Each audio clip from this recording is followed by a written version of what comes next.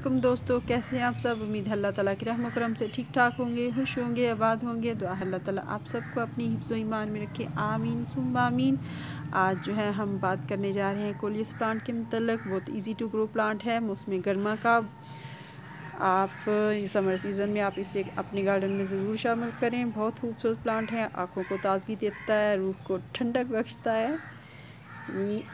अगर आप साथ गर्मी में इसके पत्तों को देखेंगे तो आपको बहुत अच्छा लगेगा। कूलनेक्स का एहसास होगा। बहुत खूबसूरत पत्ते होते हैं। मुख्तलिफ़ शेड्स में मिलता है। मेरे पास दो वैरायटीज़ हैं। ये थोड़ी देसी वैरायटी है। इस देखिए और ये एक और है। ये हाइब्रिड है। वो मेरे हाथ जो है तकरीबन तीन, दो तीन साल से जो है परमानेंट प्लांट के तौर पे आ रहा है। यानी टाइम टू टाइम मैं इसकी कटिंग लगाती रहती हूँ।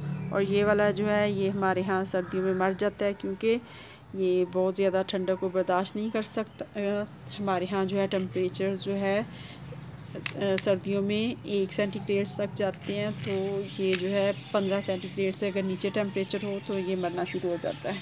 सरवाइव करना बहुत मुश्किल हो सकता है, अगर आप इंडोर रख सकते हैं, देखभाल कर सकते हैं तो फिर हो सकता है बच जाए। उसके लिए भी आपको इसकी कटिंग्स जो है लगानी पड़ेंगी। काफ़ी ज़्यादा, ताकि चांसेस जो हैं बढ़ जाएँ इसके सर्वाइव करने के। सबसे पहले हम बात कर लें इसके सॉइल मीडिया की तो इसे वेल्ड्रेन सॉइल पसंद है तो हम जो है एक हिस्सा बालू मिट्टी लेंगे, एक हिस्सा रेत लेंगे और उसमें जो है एक दो मुट्ठी जो है गोबर मिक्स कर देंगे क्योंकि हमारी ज़मीन वैसे ही मिट्टी बहुत जरहेज होती है तो इसे बहुत ज़्यादा फर्टिलाइज़र की ज़रूरत नहीं होती। वैसे तो फर्टाइल जो है ज़मीन को पसंद करता है, लेकिन ये है कि बहुत ज़्यादा जो है खाद जो है इसके पत्तों को ख़राब कर देती है। ठीक है? तो हम एक दो मिट्टी, फुली डिकम्पोज जो है, गोबर खाद उसमें शामिल करेंगे। अगर वो नहीं है तो उसके बगैर भी बहुत अच्छी तरह से आपका प्लांट जो है ग्रो कर जाएगा। ठीक है? आप सॉइल मॉइस्ट रखने के लिए उसमें थोड़ी सी कोकोपीट भी मिला सकते हैं, लेकिन बहुत ज़रूरी नहीं है। पॉट की बात कर लें तो पॉट जो है पाँच इंच के पॉट से लेके आप दस बारह या चौदह, सोलह, जहाँ तक मर्ज़ी चाहें बड़े पॉट में भी इसे उगा सकते हैं। आमतौर पे हमारे यहाँ ये पॉट्स में उगाया जाता है, लेकिन अगर आपके यहाँ टेम्परेचर्स जो हैं बहुत ज़्यादा हाई नहीं जाते तो आप जो है ज़मीन में इसे बॉर्डर के तौर पे भी इस लगा सकते हैं। अब पानी की बात कर लें तो ज़ाहिर है मौसम गर्मा का प्लांट है और हमारे यहाँ जो है टेम्परेचर्स बहुत हाई जाते हैं तो इसे जो है बाज़ जो है दिन में दो मरतबा पानी की ज़रूरत भी पेश आ सकती है। इसे जो है सॉल्ट पसंद है। वैसे अभी तो एक मरतबा ही दिन में पानी की ज़रूरत जो ऐसे पेश आती है। ठीक है? ये हो गया। और आपने इसकी जड़ों में पानी को खड़ा नहीं रखना। ठीक है? वैसे तो हम जो सॉयल मीडिया लेंगे, पानी खड़ा रहेगा ही नहीं। बहुत जल्दी जो है ड्रेन कर जाएगा। ये हो गया। अब लोकेशन की बात कर लें तो इसे बहुत ज़्यादा सनी लोकेशन नहीं पसंद। ख़ास तौर पे हमारे यहाँ की गर्म धूप जो है और दोपहर की लू जो है, इसके लिए जो है मुश्किल पैदा करती हैं। इसकी जो है कलर को ख़राब कर देती हैं और पत्तियाँ भी मुरझाने लगती हैं। तो बेहतर यही है कि आप सुबह की एक घंटे की जो है, इसे धूप प्रोवाइड करें शाम या फिर शाम की, ठीक है? या फिर ऐसी जगह पे रखें परमानेंट जहाँ सूरज की जो है ब्राइट लाइट आती हो, ठीक है? सूरज की बात होगी अब अगर बात कर ली जाए इसकी प्रोपोगेशन की तो प्रोपिगेशन जो है प्रोपिगेशन इसकी जो है बहुत इजी टू ग्रो प्लांट है। इसकी कटिंग जो है बहुत जल्दी लग जाती है। एक दो दिन में या एक हफ़्ते के अंदर अंदर ही जो है इसकी रूट्स आ जाती हैं। ठीक है? आप चाहे उसे मिट्टी में लगाएँ, चाहे पानी में लगाएँ। पानी में लगाने का तरीका ये होगा कि एक कप पानी लेना है, उसमें आपने जो है इसकी कटिंग को जो है लगा लेना है और हर दूसरे दिन या तीसरे दिन जो आपने इसका पानी जो है चेंज करना है। ठीक है? और मिट्टी में लगाएँगे तो मिट्टी में आप जो है फोर्टी परसेंट जो है बालू मिट्टी लेंगे और सिक्सटी परसेंट जो है रेत मिक्स करेंगे। कुछ अगर आप कोकोमीट कोकोपीट मिक्स करना चाहते हैं तो वो भी कर सकते हैं। ठीक तो आप उसकी कटिंग लगा के जो है शेडी एरिया में रखेंगे। मेरे पास इसकी दो कटिंग्स है, अभी थोड़ी देर पहले मैंने उतारी थी। उतारी तो फिर मेरे जहन में आया कि वीडियो बना ली जाए इस पर तो ये है मेरे पास मिट्टी।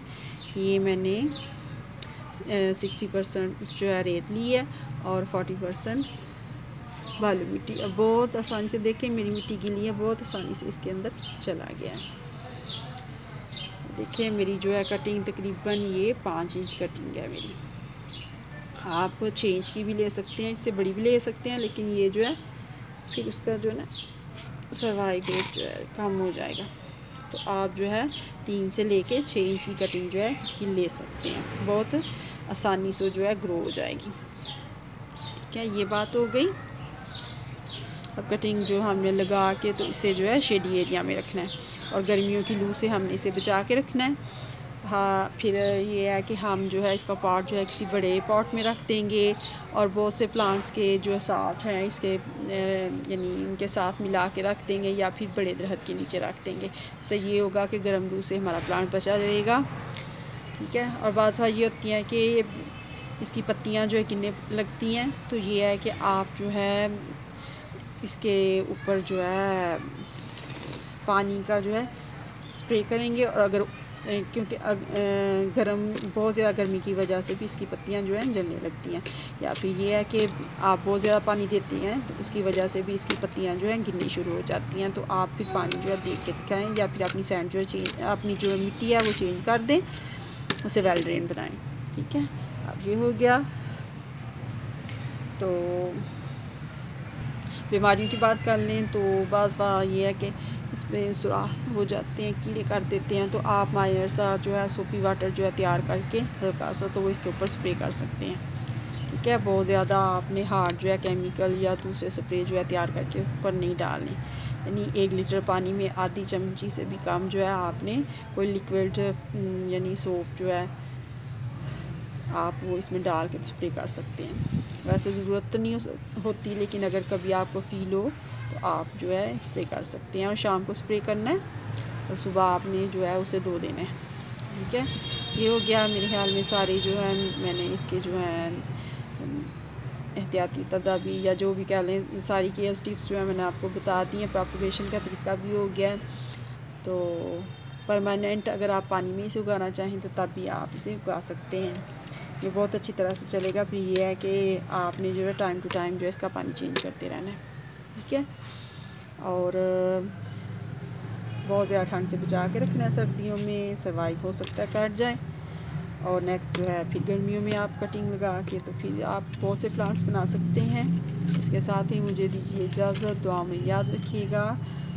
और प्लीज़ मेरे चैनल को सब्सक्राइब करें और मेरी वीडियोस को अपने दोस्तों के साथ जो है शेयर करें। और मेरी वीडियोस को लाइक भी कर लें। अल्लाह हाफिज़।